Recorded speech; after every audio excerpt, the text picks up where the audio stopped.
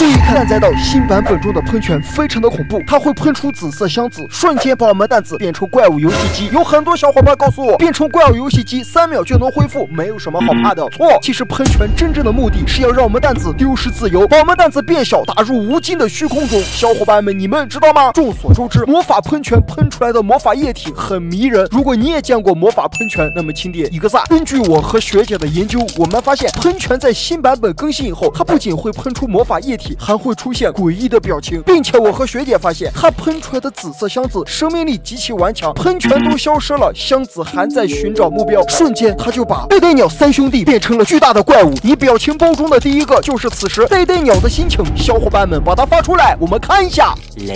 并且新版本中的魔法喷泉，它的水柱很宽。今天我和我的蛋子进入喷泉时，我发现了魔法喷泉的真实目的，它瞬间就把我的蛋子变小，然后我的蛋子就被魔法喷泉打入了无尽进的虚空中，眼前白茫茫的一片，我害怕极了，我赶紧点了左下角的复位，才让我保住了性命。小伙伴们，你们看，我回到了蛋仔岛。所以说，魔法喷泉它非常的邪恶，它要让我们蛋子丢失自由，把我们封印在白色虚空中。小伙伴们，你们知道了吗？